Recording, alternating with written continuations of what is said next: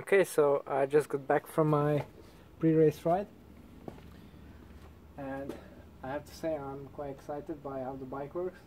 It works well I, since I removed the storage uh, equipment it's a lot lighter now so there is no, no excess. Uh, I have also mounted uh, this Elite Aero water bottle. I'm not going to use it uh, this time but for my next time trial which will be a lot longer at around 30 kilometers. I'm going to need that since it's getting quite warm now. So overall I'm really happy with with the bike. It was quite a thrill to ride uh, in this uh, stripped down format but I have experienced one problem with this chain. Obviously this is a this is the chain I've shown you earlier the YBN molten speedwax uh, treated chain. And the problem is that uh, when I get to these narrow wide uh, pulley wheels at the derailleur the white part doesn't seem to fit in the inside of the chain. It's really really really snug. So for some reason this chain is a little bit thinner than the SRAM one I have used before so I'm going to need to remedy this. Of course to see how uh, the chain has a hard time going around. And definitely not, not a good thing for for efficiency. So I'll need to change that. It will be sort of a last minute change but uh, this is exactly the reason why you, I do and why you should do as well. Ride these pre-ride or I mean pre-race pre-race checks to make sure that everything is working fine and it's in good working order. Okay, so the first thing I did was that I turned on the crockpot uh, to get the wax melted because obviously it takes quite a long time to do it safely and now I'm going to prepare the chain or the chains at least I'm going to use well treat multiple chains this time because it's quite um, ineffective to do just one chain at a time so let's get into it.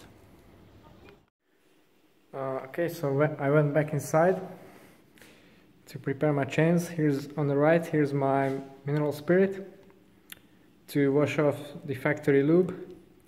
These are three Shimano Dura-Ace chains. Uh, you might wonder why did I choose these ones?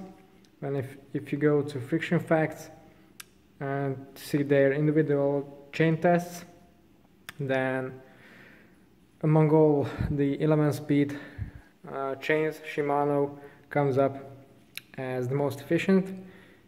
It beats SRAM by 1.5 watts so that's definitely not no slouch. Uh, in the middle there uh, you can see that mm, I think I'm going to experiment on, with one of the chains.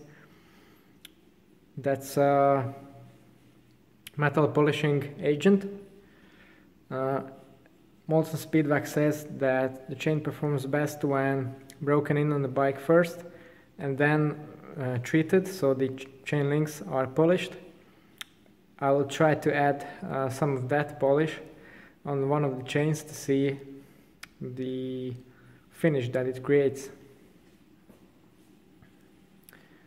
Then what do we have here? Yeah, turbo trainer. So I'm going to use that to break the chain in, but I don't want to put the time trial bike in that now. So I think I'm going to use the KTM right there. And here I have another chain ready to boxed, so I'm going to do four. That's a bit more efficient. And here I have my basically powdering device. So that's that's the last step I'm going to take.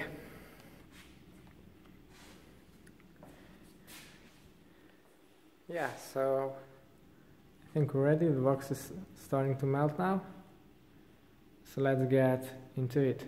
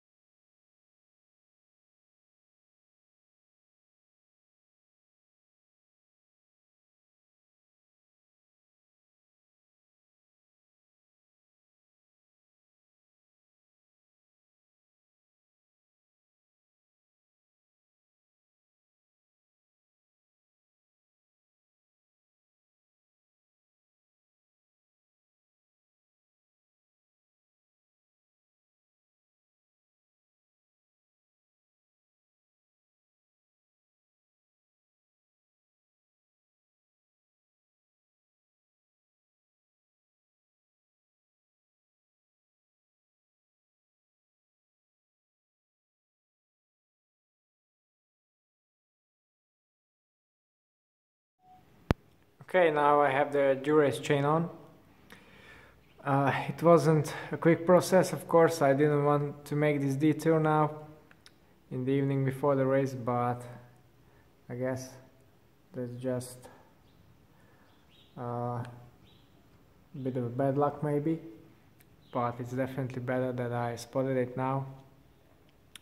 Anyway, the Dura-Ace chain is working perfectly and I'm really satisfied with it. Uh, the friction seems to be very very low and shifting is awesome. I actually made the chain, chain one link longer so I get less tension and perhaps a bit less friction. Uh, so one quick tip there, if you are putting on a race chain make sure it's as long as it's possible in your setup because less friction um, I mean less chain tension means less friction as well. Okay, so let's just give it a bit of a spin to see how it shifts.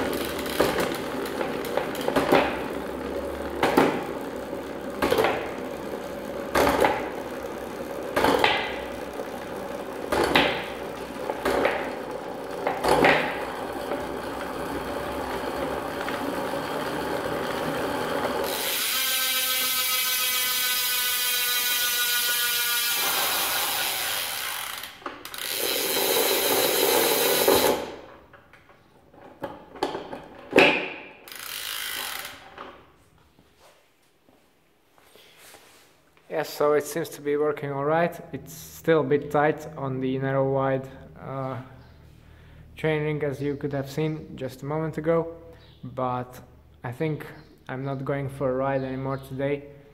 I'll just uh, break it in, in in my warm-up tomorrow, so that's pretty much uh, it with the bike. Now I'm going to pack my things up and hopefully get some rest before tomorrow. Okay, I guess I'm finally ready now. It's quite late uh, in the evening, sun starts to go down, so let's just pack up the things uh, into the car and then we're ready to go. What I'm taking, obviously it's my time trial bike, with an additional 454 NSW front wheel in case it's very windy. I got my pump, a spare tire, turbo trainer and my kit which I shown you earlier. So that's it, now it's just time to have a rest and then go racing. Uh, if you want to see uh, how I do, then of course uh, stay tuned for tomorrow. And if you'd like to know more about my preparation and my bike, then don't forget to check out other videos in my channel and subscribe. It's all for today. Thanks for watching and see you next time.